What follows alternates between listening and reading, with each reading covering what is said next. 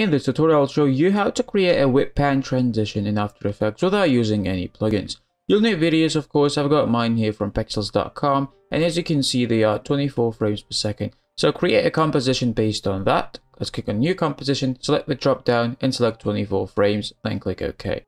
And select the videos and drag them to the timeline. Then I'm going to go to 2 seconds, trim the layers and align them properly so we have a scene ready to go for our transition.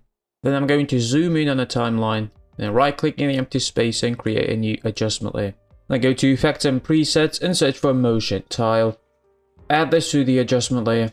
Now from the cut point, move 5 frames back by pressing page up 5 times and create a keyframe for tile center.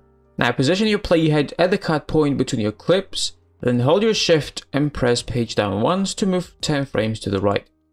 Press U two times to see the keyframes on the timeline. And now we need to change out the values of the tile center, so depending on which direction you want to go, you just change out the values. I'm going to go to the right, so drag the X values to the negatives and make two full cycles. So the value should be negative 2880.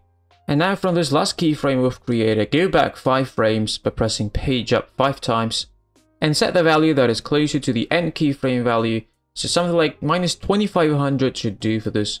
This will give us a better easing at the end of the transition. And the next step will be to select the first and the last keyframe and press F9 to easy ease them. We can do our first preview of the transition, and that looks alright as of now, but if you don't like these rough cuts, which personally I don't, let's click on the mirror edges and that'll make the transition a lot more seamless. The main part of the transition is done. Let's now add some blur. So a lot of people like to add directional blur, but I personally don't because it doesn't have repeat edge pixels option. So instead I'm going to add fast box blur. Add it to the adjustment layer. Then go to the first keyframe of our motion tile center.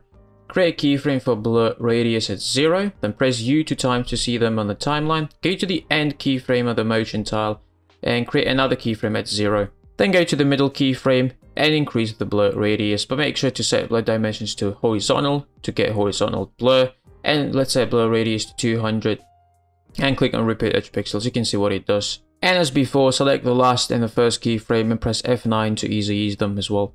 And just like that, we've been able to create a dynamic whip pan transition in After Effects without using any plugins. If you enjoyed this tutorial and learned something new, please give this video a like, I would really appreciate that. Thank you so much for watching, and I'll see you in the next tutorial.